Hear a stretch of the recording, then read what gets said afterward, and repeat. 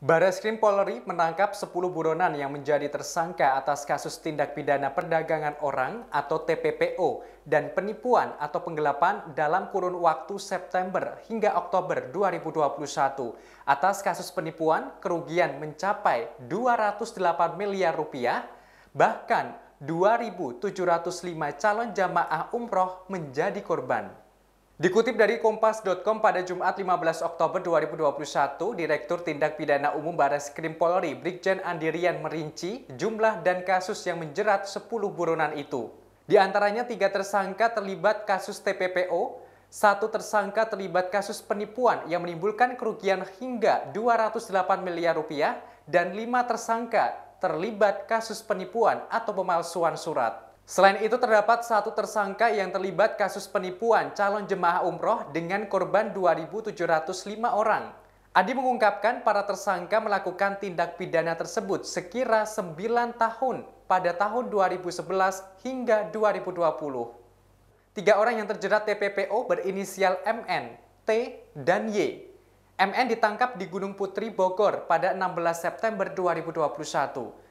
Kemudian T ditangkap di Kelapa Gading Timur, Jakarta Utara pada 29 September 2021 dan Y ditangkap di Cianjur, Jawa Barat pada 8 Oktober 2021.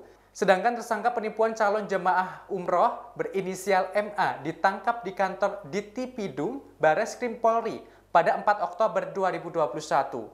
Berikutnya, lima tersangka kasus penipuan atau pemalsuan surat berinisial DF, L, BR, S, dan AS. D dan B ditangkap di Jambi pada tanggal 28 September 2021, sementara L, A, dan S ditangkap di daerah yang sama sehari kemudian pada tanggal 29 September 2021. Sementara itu, satu tersangka lainnya yang terlibat tindak pidana keterangan palsu pada akta otentik dan penipuan berinisial B.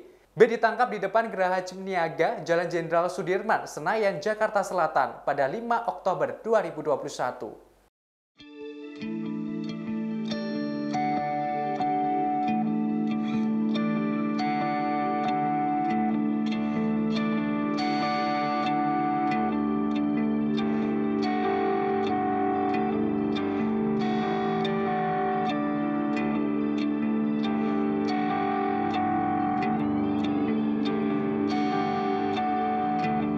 Demikian informasi kali ini, nantikan informasi selanjutnya hanya di kanal YouTube Tribunnews. Terima kasih sudah nonton, jangan lupa like, subscribe, dan share ya!